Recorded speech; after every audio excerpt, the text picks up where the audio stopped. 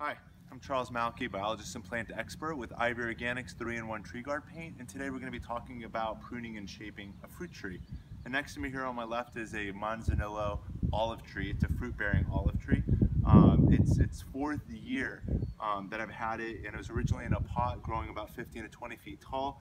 As you can see here, if you want to zoom in, um, right near the top, right over here, I actually had it pruned um, in late winter. Um, I this plant, again, was about 15 to 20 feet taller from this point up. And the reason that I pruned it was because I wanted all of these side branches, which were near the bottom, and they were near death until I actually pruned the top. My goal was I wanted to actually have a bush, um, a bush growing um, olive tree. I wanted to actually have two to three main primary branches coming off of this tree and growing in three different zones. Um, I've been watching this tree for the last few weeks. I've been wanting to prune it, but I wanted to do a video so I can share with you um, how to actually prune and take care of this tree. If you also come in a little closer and before I start working, you'll actually notice that the bark of this olive tree is a little bit lighter than, um, than the other parts of the branches that are, have not been coated.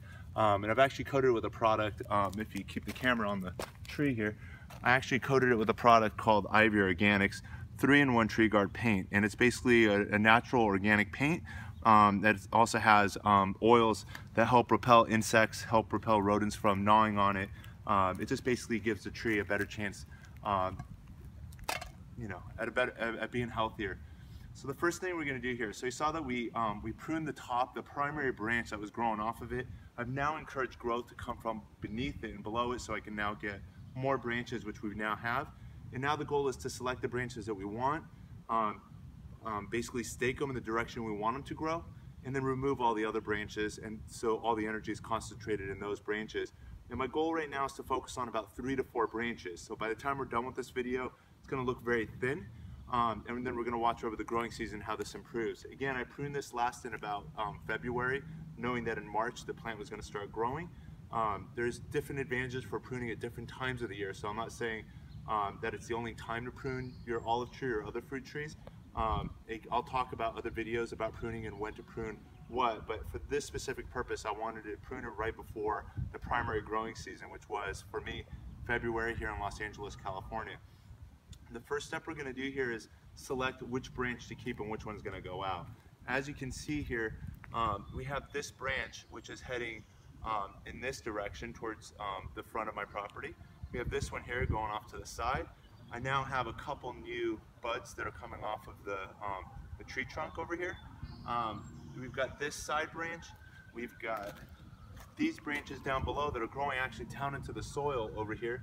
So these actually need to be either pruned or, or supported.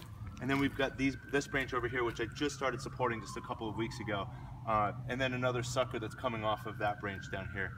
Um, so the first thing to do is to decide how we're gonna um, shape this tree. The first thing I'm gonna do, and these are the materials that I brought with me. So here are my, um, my hand pruners. I've got some twine to basically support it to these stakes, some scissors to cut the, um, the string. I brought this metal stake to demonstrate that um, sometimes when you buy your fruit trees, it comes with these metal stakes. I highly discourage the use of metal stakes as they do absorb a lot of heat. It can actually damage the plant tissue that these are staked next to. So do not use metal. Um, I prefer using either a wood or if you're going to use a metal stake, these are two um, cosmetically, you know, appealing choices as well. They're metal stakes and they're covered in a, a plastic um, vinyl cover so it doesn't actually um, absorb heat the same way as a metal stake would. Um, so the first thing we're going to do is decide which branches we're, we're going to keep. So um, over here I've got a branch that's actually heading towards me. I'm actually going to remove this branch out. I've got this branch over here, which is the second branch that's going down, you can see these branches are falling into the soil.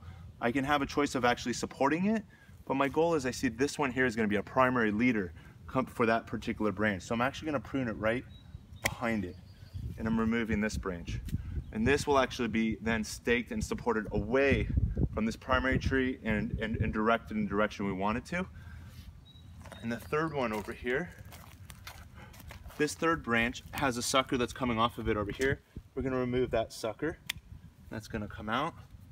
And we're gonna thin it as well, as these branches are actually going back into the primary tree and we want these branches to grow away and towards the front of the tree.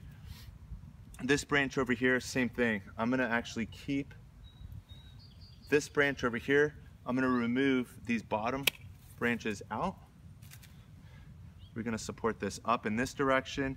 Those two will stay over there. This one's gonna come back and this one over here will be pulled towards the front. So now we're gonna get our stakes. So the first thing we're gonna do here is just insert the stake over here.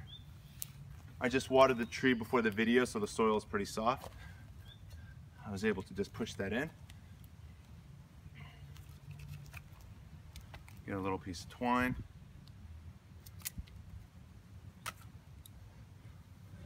So you'll notice when I actually support the branch, um, and again, the goal is I want this branch to be going in this direction and this these branches to go away from me. So I'm actually gonna steer this back a little bit more this way. So you can see there's a lot of flexibility. You can, you've got to design your trees to grow in the direction you want them to, because if all the branches end up going up and into the tree, they're all going to be competing for the same light um, and, and fruiting actually a lot less than if you actually pull the branches away and keep it as an open canopy. So here we just take that, we're gonna tie it back. This branch over here is in the way, so we can just cut that out. The goal is to protect this leader over here. The rest of these side branches are less important. And now we're just gonna tie that back. And here we go with that.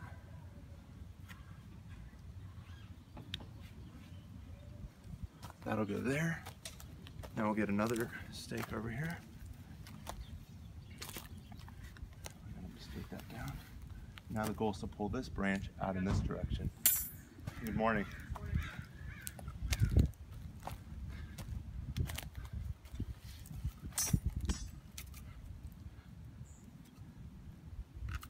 Cut that. Tie to the stake. Do not tie directly to the tree.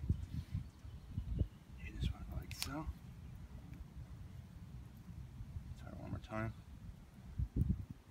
The reason you don't want to tie the knot onto the tree is you don't want to constrict the, the tree. You don't you never want to put, put a knot on it as it'll prevent the sugars and the waters from flowing into the tree.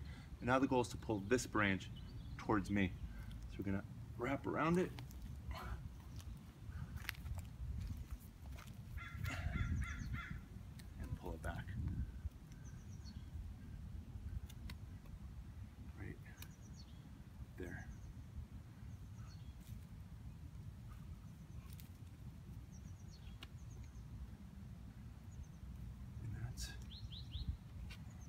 pretty much it. So within the next three to six months, these branches will actually become established in, in the directions that you've um, trained them to grow. Um, and that'll pretty much create the shape that it's going to be in for the rest of its life. So your goal is to actually create an open canopy. I force this branch to grow out this way. I'm going to have this branch grow off to my right. We're going to have this branch growing off this way, and then that branch to grow out in front um, towards you, the viewers. Um, these little sprouts that have come off the trunk, I'm actually gonna leave them for now. I may decide to have it run through the middle, um, maybe actually create a, an, another branch that's going this way. Um, so I'm actually leaving these sprouts. I'm gonna decide which ones to keep and which ones to not. But as you can see, I'm in the process of creating a multi-trunked fruit tree.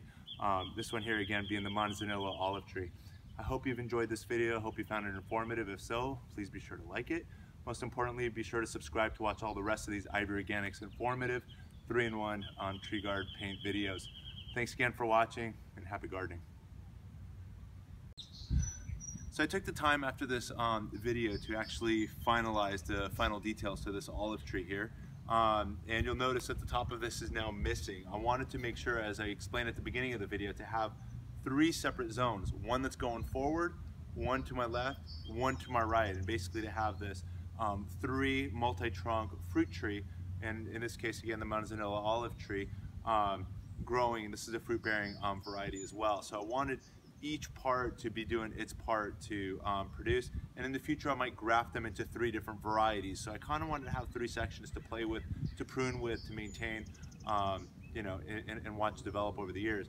But what you'll see what I've done over here is I've actually taken this branch off. It was growing in this direction, as you saw at the beginning of the video, and these two branches were overlapping and it was actually growing um, actually in like this direction here. Um, so it's overlapping with this um, area and this zone of, of, of, the growth that we're expecting. So I took this out and then I and then I um, basically um, secured and tied and staked this branch back so it'll be growing again in this zone. This branch is now staked and growing in that zone and then this branch over here is staked and growing in the forward zone. Um, now that we've actually pruned it, as you can see, we've sawed um, this branch off in this in, in this um, location. I've actually damaged, if you want to um, come a little closer, when I had my saw in hand, I actually um, rubbed a little bit against this bark. And then this um, this pruning um, that I've done over here is actually going to take many years to, to heal. rather than keeping it exposed, what we're going to do is put this IV Organics 3-in-1 tree guard paint. And I'm just going to go here with my brush. I had it pre-mixed before the video and I'm actually just gonna seal it. And what this does is, aside from protection from sunburn and sun scald, is it's gonna keep the insects out from actually boring into the, um, the wood. The living tissue is just underneath this bark. The whole center part of the um, tree is, is, you know, is, is just wood, which would be ideal for wood boring insects to actually get into it. But we're just gonna seal that and, and then once a year, coat it. Um, and you can see the rest of this tree was coated about six months ago. We can actually just brush a little bit more on there. Um, and it'll keep the plant nice and cool as we're now going to start going into the summer months. Um, if you have any other questions, um, feel free to visit ivorganics.com. Um, Again, I'm Charles Malki, your biologist and plant expert with IV Organics. And if you've enjoyed this video, be sure to like it. Most importantly, subscribe down below so you can watch all the rest of these um, informative IV Organics um, videos. Thanks again for watching and happy gardening.